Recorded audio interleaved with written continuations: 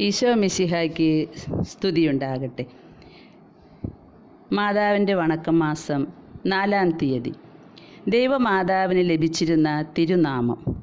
ഒന്നാമത് മാതാവിന്റെ തിരുനാമം പരിശുദ്ധവും രണ്ടാമത് മഹനീയവും മൂന്നാമത് വണക്കത്തിന് യോഗ്യവും ആയിരിക്കുന്നു.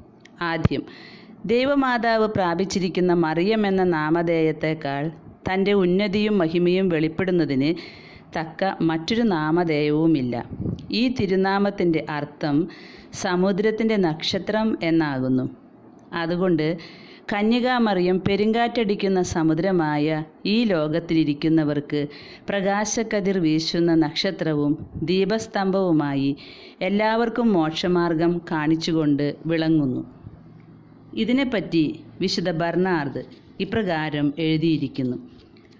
അപകടമുള്ള കടലായ ഈ ലോകത്തിൽ സഞ്ചരിക്കുന്ന നിർഭാഗ്യനായ മനുഷ്യ വഴി പിണങ്ങി ഇതിൽ താണുപോകാതെ കരയേറുവാൻ ആഗ്രഹിക്കുന്നെങ്കിൽ നക്ഷത്രമായ കന്യകാമറിയത്തിൽ നിന്റെ ദൃഷ്ടി വെച്ച് പ്രാർത്ഥിച്ചു കൊള്ളുക പരീക്ഷ വരുന്ന സമയത്തിലും ആപത്തിന്റെ നേരത്തിലും കന്യകാമറിയത്തോട് അപേക്ഷിച്ചു കൊള്ളുക അഹങ്കാരം കോപം മോഹം സ്പർദ്ധ മുതലായ ദുർഗുണങ്ങൾ നിന്റെ ആത്മാവിൽ ജ്വലിച്ച് നീ പാപത്തിൽ വീഴുവാൻ തുടങ്ങുന്ന സമയത്തിൽ നക്ഷത്രമായ കന്യകാമറിയത്തിൽ ആശ്രയിക്കുക. ആ തിരുനാമം നിന്റെ ഹൃദയത്തിലും നാവിലും എപ്പോഴും ഉണ്ടായിരിക്കണം. ഈ നാഥയെ പിൻചെന്നാൽ വഴിതെറ്റിപ്പോകാതെയും ഈ അമ്മയോട് പ്രാർത്ഥിച്ചു വന്നാൽ നിരാശയുണ്ടാകാതെയും സുരക്ഷിതനായി മോക്ഷത്തിൽ നീ ചേരുമെന്നുള്ളത് നിശ്ചയമുള്ള കാര്യമാകുന്നു.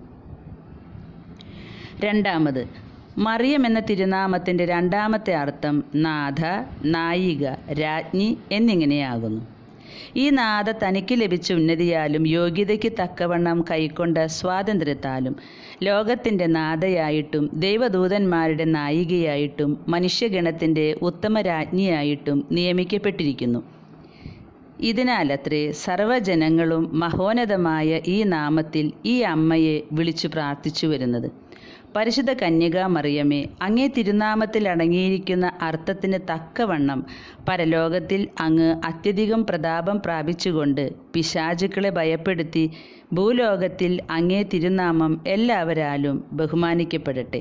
സർവേശ്വരനെ ഒഴിച്ച് മറ്റുള്ള സർവത്തെയും വിശേഷാൽ ഞങ്ങളുടെ മനസ്സിനെയും അങ്ങ് രാജ്ഞിയായി വാണ് നടത്തി. ഞങ്ങൾ അനുഭവിക്കുന്ന സങ്കടങ്ങളിൽ സഹായവും ബലഹീനതയിൽ ശക്തിയും അന്ധകാരത്തിൽ പ്രകാശവും മരണസമയത്തിൽ ഉറപ്പുള്ള ശരണവുമായിരിക്കണമേ.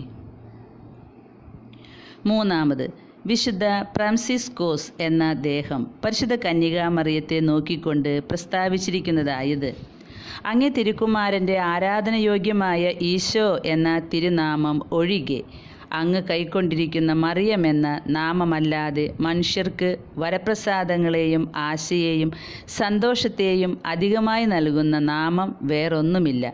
വിശുദ്ധ ബനവെന്തുര ഇപ്രകാരം പറയുന്നു പരിശുദ്ധ കന്യക മറിയമ്മേ അങ്ങേ തിരുനാമത്തെ വണങ്ങി സ്നേഹിക്കുന്നവൻ ഭാഗ്യവാനായി ആശ്വാസം പ്രാപിക്കുകയും സൽക്രിയകളെ ചെയ്തുകൊണ്ട് വരികയും ചെയ്യും.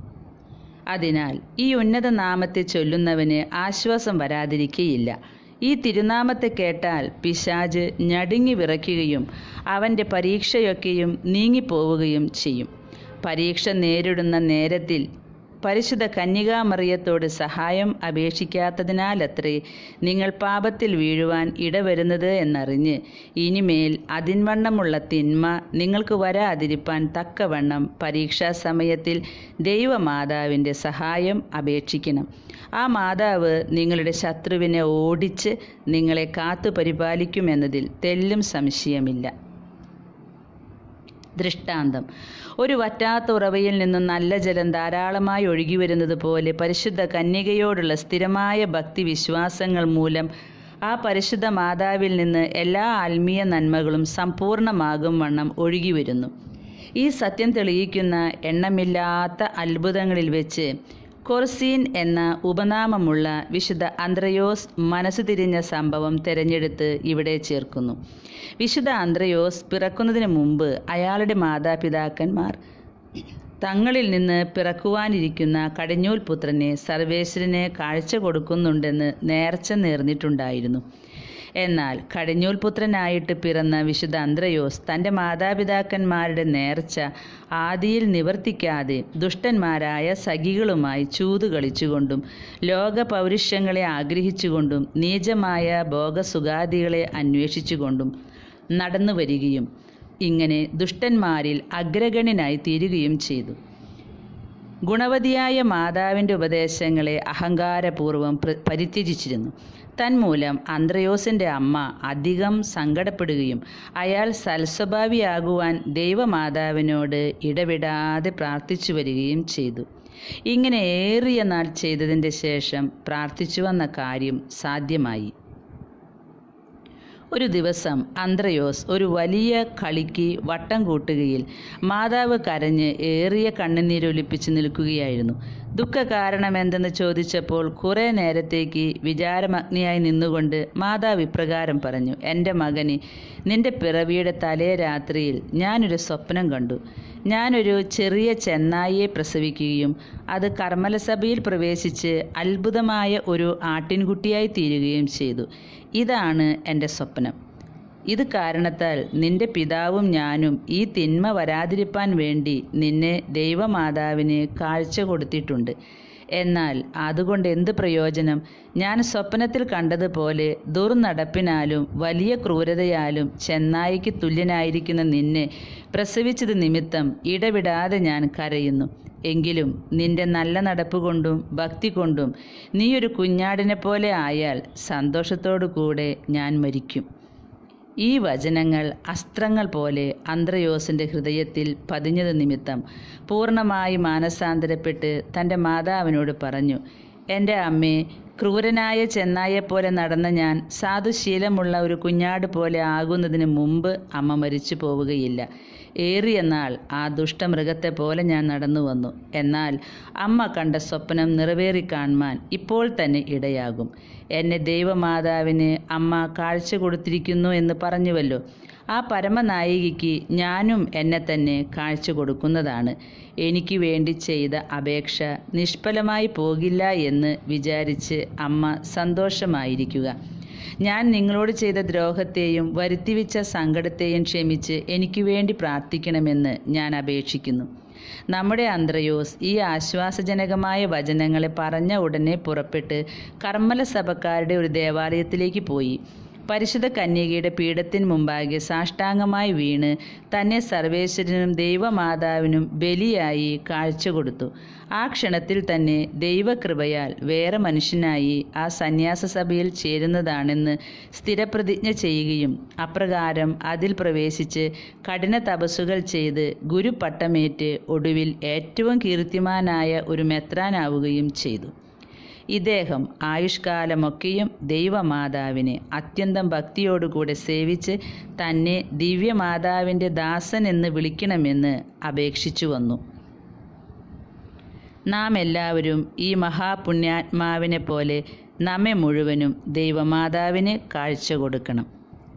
ജപം അത്യന്ത സ്നേഹത്തിന് യോഗിയായ പരിശുദ്ധ കന്യകാമറിയമേ അങ്ങേ തിരുനാമം നാവിലുദിക്കുമ്പോഴൊക്കെയും ഹൃദയത്തിൽ എല്ലാവർക്കും അങ്ങിൽ ഭക്തി ജനിക്കുന്നതുമല്ലാതെ അങ്ങയെ നിരൂപിക്കുന്നവർക്ക് എല്ലാവർക്കും അധികമധികമായിട്ട് അങ്ങയെ സ്നേഹിപ്പാൻ കൃപ ചെയ്യുകയും ചെയ്യുന്നുവല്ലോ.